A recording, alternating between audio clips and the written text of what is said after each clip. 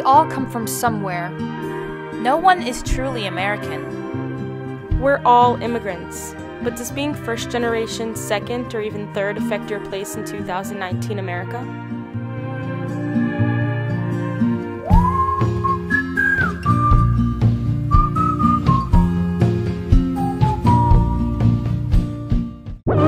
Could these people of many nations become a part of the American way of life? Thousands of immigrants from Central America are currently traveling together en route to the United States. Foreigners Most of who those want to work making the legally journey in the traveling by foot. soon face a addressing stricter review on our southern process. border and calling for funding.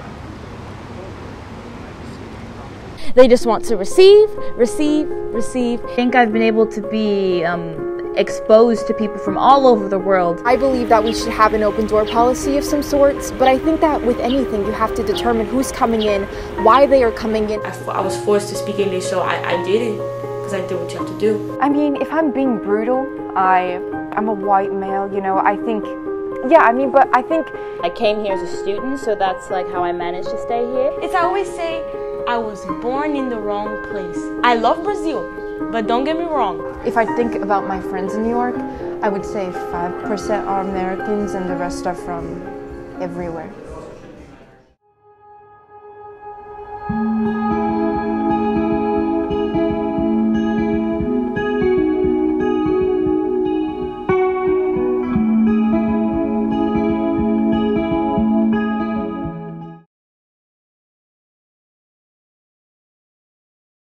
Because if you came through at Ellis Island, you needed to have someone to sign for you, you needed a place to live, you needed a job, then you'd be taken care of.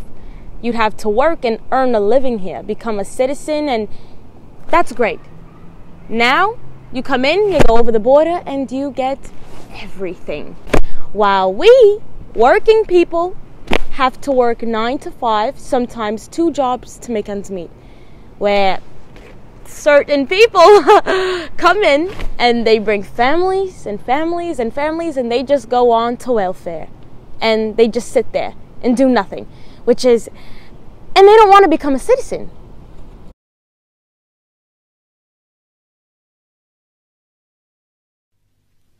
think that immigration is what, you know, America was founded on. It wouldn't, there was obviously people who inhabited this land before the rest of the world kind of came, but I think that we face the same struggles no matter what time it is. I believe that we should have an open door policy of some sorts, but I think that with anything, you have to determine who's coming in, why they are coming in, how they're coming, how do we, um, how do we balance that? So, in other words, you know, if people are fleeing persecution and they're fleeing horrible situations, I think that we need to find a way to make this a very hospitable country. It's tough because people who come here illegally, then then we don't have any way of putting them through a system, and that's what's hard. Now, my question is, why are they coming illegally? Is it because they don't know how else to get here? In which case, we need to do a better job in terms of making people aware. Um, if they're coming because they're trying to flee from something in their own country, a dangerous situation, but because they don't want to live there anymore, then that's another issue.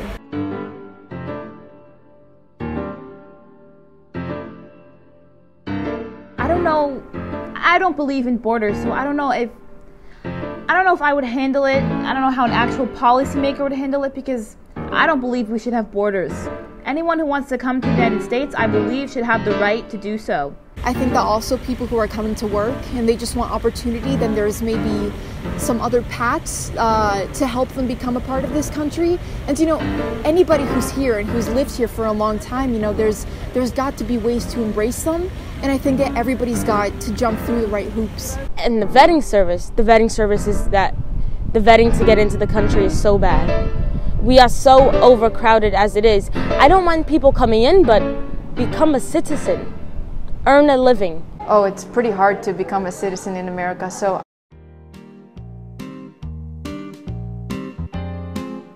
I'm in the process of the green card right now, and it takes forever. Uh, you have a weird dealing with the lawyer because it's so difficult and there's so many different papers and forms to fill out, so yeah. Um, I moved here from Germany when I was, um, the south of Germany when I was uh, 29. I worked for a company that had a plant in um, North Carolina in Mooresville, and they sent me over there for. Um, it was part of the apprenticeship to go to um, the other subsidiaries to work there. I moved because my wife um, moved to the US three years ago, and then after long distance relationship, it was also time for me to move to the US. Um, yeah, the only goal I had at that point was finding a job here, and obviously I found one. Um, it was not that hard to adjust to America's society and customs. And we have others that don't want to conform at all to our rules and regulations at all. So, uh, I'd say Europe and America, it is different, but not like too crazy different when it comes to culture. So when it comes, for example, to the health um, system or support for families, I'd say Europe is a little bit more supportive. So, for example, when a wife gives birth, you don't have to pay in the hospital. When you when you do have to send your kid to school, um, it's pretty expensive here. In Germany, it's for free. Uh, also, when you go to college, um, health insurance, when you go to the doctor and you have something really small, the bill can be pretty high. So, all these aspects are better in Europe. So, we definitely thought or are thinking about moving back to Europe or Germany one day.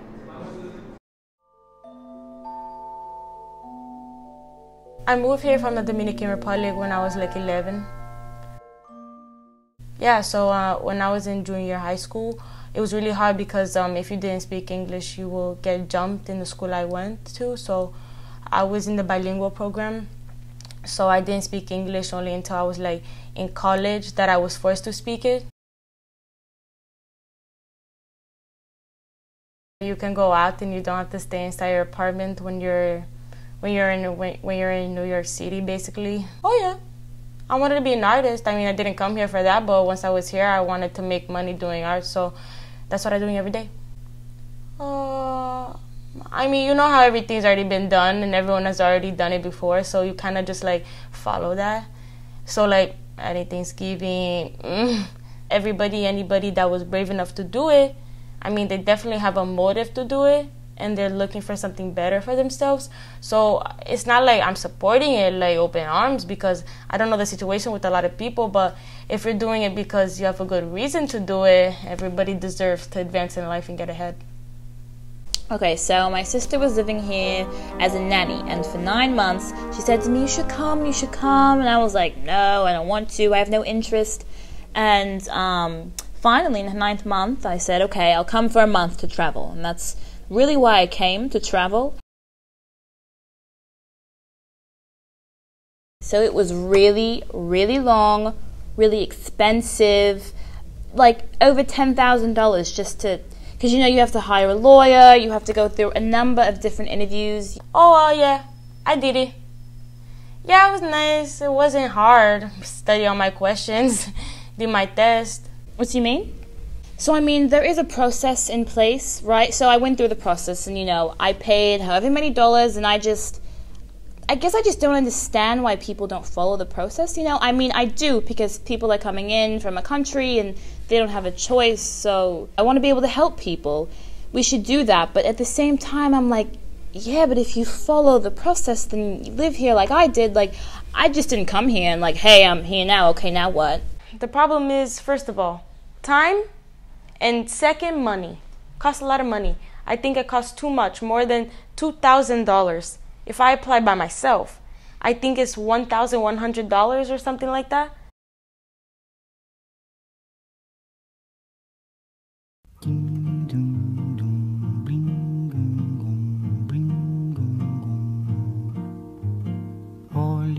Coisa mais linda, mais cheia de graça.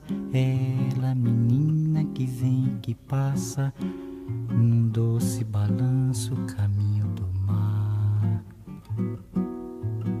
Moça do corpo It's different. It's a it's a different mentality. It's more my mentality. I just want to work and live comfortably as much as possible and safe things that I didn't have in Brazil.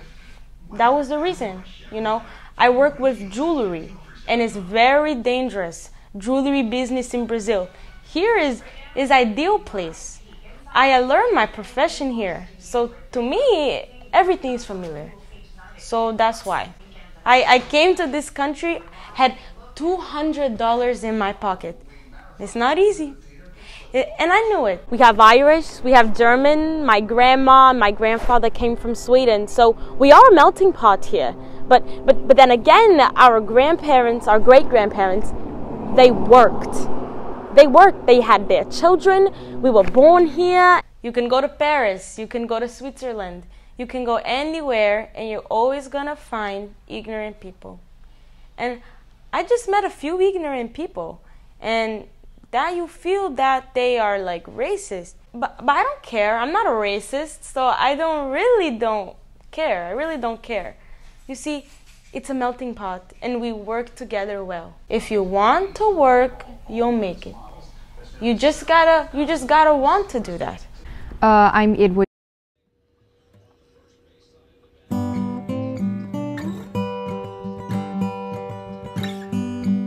I moved to New York from Australia when I was uh, 29.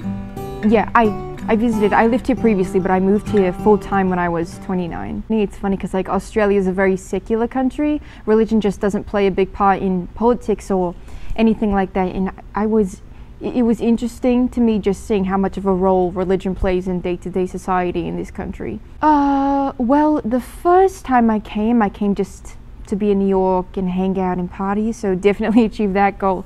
Uh, the second time, I don't know, I had my own jewelry label in Australia. I think I, I'm doing work that I never could have done in Australia, you know, just the scope and the scale of being in New York, you know, opens a lot more doors and offers a lot more opportunities. We have a lot of opportunities. It's the land of opportunities, but unfortunately, the land of opportunities is getting smaller and smaller and it's shrinking. It's harder and harder to get that American dream. Prices are going up, taxes are going up, and partly because of all the undocumented immigrants, which is really, really bad. If these immigrants want to stay here, become a citizen. Get your green cards if you have to. Start paying taxes like everybody else. Um, I have a green card. Uh, I um, I was I, I am hesitant. Actually, I have to renew it. I was hesitant to apply for citizenship because I have an Australian and a British passport, and I. I guess I refer to them as my escape plan. You know, um, if it all gets too weird here, I can just jet off to one of those countries. I think that it is insanely divisive. I, I've always found it really peculiar that white people who move to a different country, like, like if you're American and you live in Singapore, you're referred to as an expat not an immigrant. It, it's like the language seems to be very different for white people who live in other countries than it does for you know people who probably have a more valid reason. But if they have an accent in English, um, I think that people tend to Americans tend to discriminate against them. It's unfortunate, but I still have white privilege. It was a seamless assimilation and integration for me because I spoke English and I came from a middle class background. I taught undocumented children, undocumented immigrants went to my school, and they were. Uh, the kids were nervous every time there's a threat about INS coming to their neighborhood, for instance.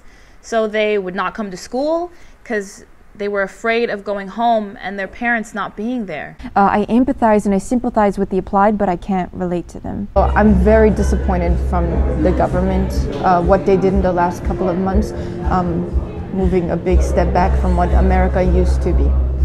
I believe that the US has caused a lot of conflict in these countries that these people are now fleeing, and so I think there needs to be some ownership of those. Uh, there needs to be some ownership of the reasons people are coming to this country in the first place. I mean, like, I think I understand how they feel to leave their country, they leave behind all their customs, they may leave their family behind. And you know, that's a big upheaval. And I can understand that part of it, but um, I guess I don't understand the people who are coming here as refugees. I, I don't. I do understand that, but I haven't been in that situation, so I can't relate. Um, let's find a way to help them become a part of this the right way and feel confident in where they live. I always say that one of the greatest lottery winnings I ever had was being born in the United States of America. I would like to have the privilege to say that I consider myself an American. I am not an American citizen, but I am much more American than Brazilian, so. Um, and to be honest, I don't.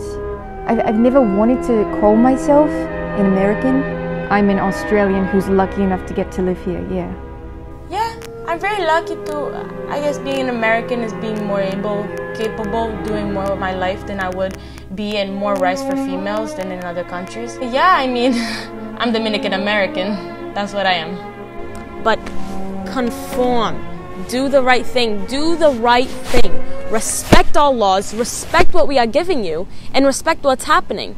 Don't take it for granted because it could be taken away from you because that's another subject because our rights are being taken away from us but that's another subject it's today the anti-immigrant rhetoric that has such a negative impact on our society our culture so i'm hoping that that will turn around i am very friendly with them because you don't know who is who. So i do treat them i don't talk down to them because i don't know their backstory so. Say there's a lot of places to live in this world and lots of things to do just be open to and just realize we're all the same even if we're very different looking and very different acting or lots of different backgrounds. It's just we're all human beings. Uh, like i said i'm still in the green card process but i wouldn't say i'm american i'm a world citizen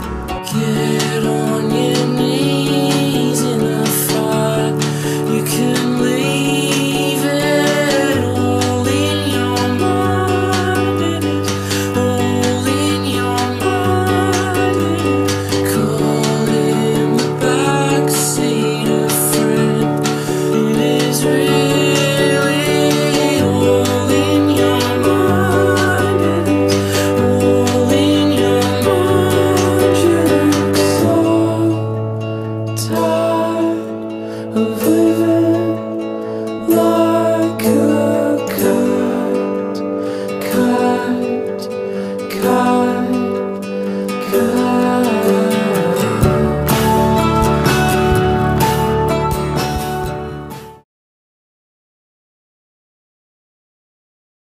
land I love, the home of the free and the brave. Every heart beats true for the red, white, and blue, where there's never a boast or brag. Let me hear a girl with an Australian accent. Girl.